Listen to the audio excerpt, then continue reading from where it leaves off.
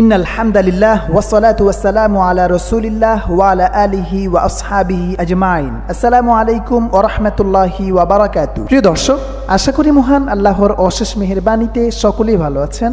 আর আমরা আজকে আপনাদের সাথে অত্যন্ত গুরুত্বপূর্ণ একটি বিষয় শেয়ার করব, আর তা হলো ফরজ গোসল করার সঠিক নিয়ম বা পদ্ধতি। পবিত্রতা ইসলাম ধর্মের অন্যতম বৈশিষ্ট্য।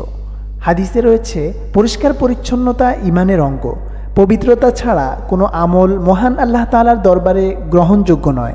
পবিত্রতা অর্জনের মাধ্যমগুলোর মধ্যে গোসল একটি। আল্লাহ তালা বলেন, তোমরা যদি নাপাক অবস্থায় থাকো, তবে তোমরা তোমাদের দেহকে ভালোভাবে পবিত্র করে নাও। প্রিয় দর্শক, ফরজ গোসল ইসলামী জীবন বিধানের গুরুত্বপূর্ণ একটি বিষয়। কারও উপর গোসল ফরজ হলে সঠিক পদ্ধতিতে গোসল আদায় না করা পর্যন্ত ওই ব্যক্তি নাপাক অবস্থায় থাকে।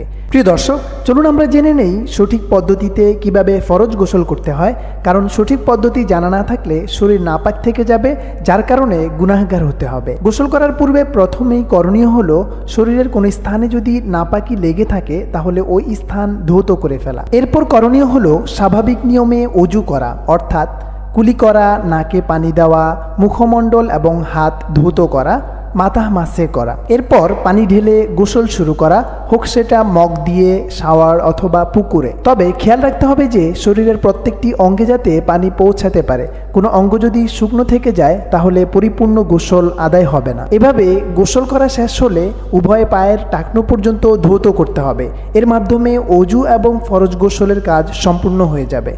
নতুন করে অজু করার প্রয়োজন নেই। তবে গোসলের পর যদি অজু নষ্ট হওয়ার মতো কোনো কারণ থেকে থাকে, তাহলে নতুন করে অজু করতে হবে। প্রিয় দর্শক পবিত্রতার গুরুত্ব অপরিসীম, কারণ মহান আল্লাহ তালা পবিত্র এবং তিনি পবিত্রতাকেই ভালোবাসেন। আল্লাহ তালা আমাদের সকলকে সর্বাবস্থায় পবিত্র থাকার এবং পবিত্রতা অর্জন করে এবাদত করার তৌফিক দান করুক, আমিন। আসসালামু আলাইকুম ওরহমতুল্লাহি ওয়াবারাকাতু